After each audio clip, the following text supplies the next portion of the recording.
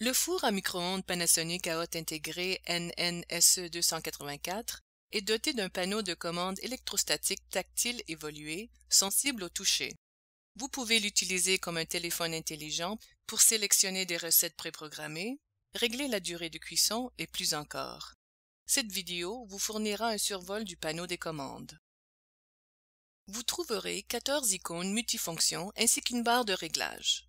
La barre de réglage vous permet de régler la durée, le poids ou de sélectionner la catégorie de cuisson par senseur.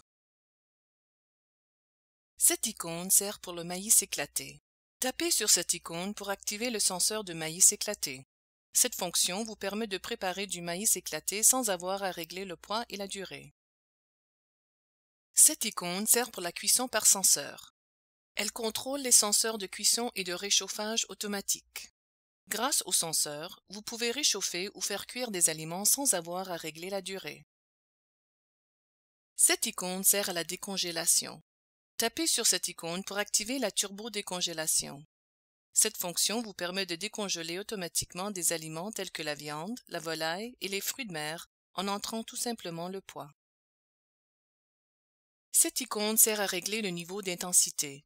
Tapez sur cette icône pour sélectionner le niveau d'intensité du niveau 10 à 1. Cette icône sert pour le maintien au chaud. Elle vous permet de maintenir vos aliments au chaud jusqu'à 30 minutes. Cette icône contrôle la fonction 30 Express. Chaque fois que vous tapez sur cette icône, vous prolongez la cuisson par incrément de 30 secondes jusqu'à un maximum de 5 minutes.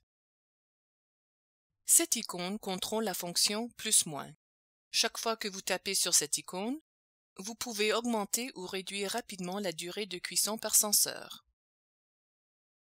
Cette icône sert au réglage de la minuterie. Vous pouvez l'utiliser pour le réglage de la minuterie ou celui de l'horloge. Cette icône contrôle le plateau rotatif. Tapez sur cette icône pour activer ou désactiver la rotation du plateau du four à micro-ondes. Cette icône sert pour arrêter ou annuler un processus.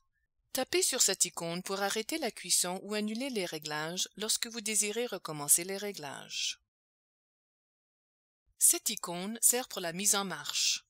Tapez sur cette icône pour mettre le four ou la minuterie en marche ou pour remettre le four en marche après avoir ouvert la porte du four. Cette icône contrôle le ventilateur. Tapez sur cette icône pour activer le ventilateur.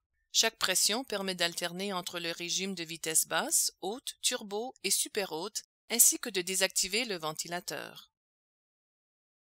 Cette icône sert pour l'arrêt automatique du ventilateur. Tapez sur cette icône pour régler la période après laquelle le ventilateur sera mis automatiquement hors marche. Vous pouvez régler 1, 3, 5 ou 10 minutes selon le nombre de pressions. Cette dernière icône contrôle l'éclairage. Tapez sur cette icône pour régler la luminosité de la surface de cuisson. Les choix d'éclairage sont haute lumière froide, haute lumière chaude, basse lumière et éclairage désactivé. Pour plus de renseignements sur l'utilisation des icônes, Veuillez consulter la section de foire aux questions sur notre site web indiqué dans les notes ou consulter nos autres vidéos Comment faire.